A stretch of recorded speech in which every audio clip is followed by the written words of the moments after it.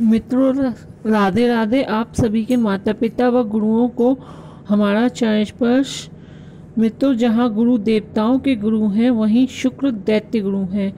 लेकिन गुरु तो गुरु ही होता है। उनका उद्देश्य सदैव अपने अनुयायियों को मार्गदर्शन करना है।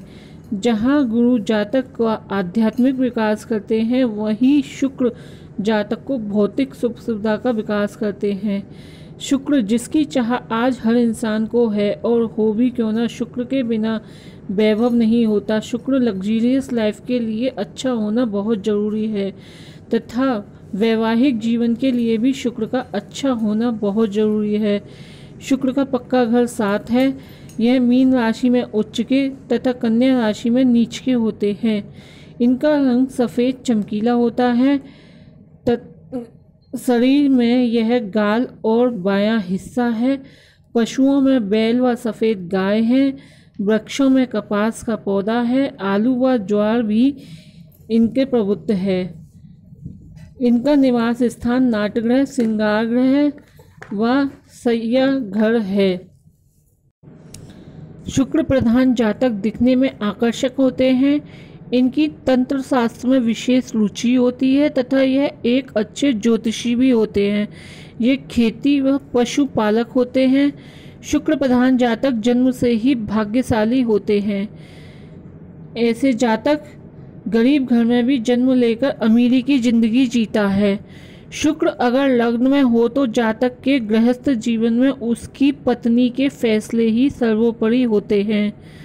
शुक्र प्रधान जातक एक अच्छे कलाकार होते हैं, सिंगर होते हैं पाक शास्त्र में निपुण होते हैं, फ़ैशन डिज़ाइनर, कपड़े के व्यवसायी, ज्योतिषी, शिक्षक व तांत्रिक होते हैं। शुक्र प्रधान जातक कला में निपुण होते हैं तथा विपरीत लिंग के व्यक्ति इनकी तरफ़ सतह ही आकर्षित होते हैं। मंगल शुक्र की युति में अगर जातक अपना चरित्र सही रखे तो वह हर जगह विजय प्राप्त करता है, क्योंकि शुक्र ज्ञान, ऐश्वर्य है और मंगल पराक्रम। और जब ज्ञान व पराक्रम का मेल होता है तो जातक सर्वत्र विजय प्राप्त करता है। अगर अच्छे शुक्र पर गुरु की दृष्टि ना हो तो जातक का चरित्र से कमज़ोर होते हैं। शुक्र चंद्र की युति में दोष माँ को लगता है मतलब घर में सास बहू का झगड़ा और दोष माँ को लगेगा। मित्रों, अब बात करते हैं खराब शुक्र की।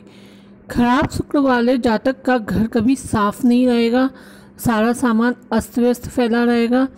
उसके बेडरूम में भी एक अजीब तरीके की गंध आएगी और उसमें भी सामान अस्त व्यस्त रहेगा। तथा ऐसे जातक के कपड़े ए, सही नहीं होते वो प्रेस करे हुए कपड़े नहीं पहनता या फटे हुए कपड़े पहनता है या लग मतलब कपड़ों में भी भव्यता की कमी होगी। और ऐसे जातक का चरित्र से कमज़ोर होता है। ऐसे जातक का भौतिक सुख के लिए बहुत जो है संघर्ष करना पड़ता है तथा उसका वैवाहिक जीवन भी कमज़ोर होता है। कमज़ोर शुक्र वाला इंसान डायबिटीज़ और हार्मोन्स की प्रॉब्लम से पीड़ित रहता है। खराब शुक्र को सही करने के लिए हमें हमेशा साफ़ सुथरे और प्रेस किए हुए कपड़े पहनने चाहिए तथा अपने घर को हमेशा साफ़ रखना चाहिए। हमें माँ लक्ष्मी की आराधना करनी चाहिए। मखाने की खीर बनाकर माँ लक्ष्मी का भोग लगाना चाहिए छोटी छोटी बच्चियों की सेवा करनी चाहिए, उन्हें खट्टी मीठी टॉफ़ियाँ बांटनी चाहिए, तथा शुक्र से संबंधित चीज़ें जैसे दही, चावल, चीनी मिश्री सफ़ेद कपड़ा आदि धर्म स्थान पर दान करनी चाहिए। स्त्रियों के प्रति सम्मान का भाव रखना चाहिए, अपने चरित्र को सही रखना चाहिए, तथा अपनी पत्नी को सदैव खुश रखना चाहिए।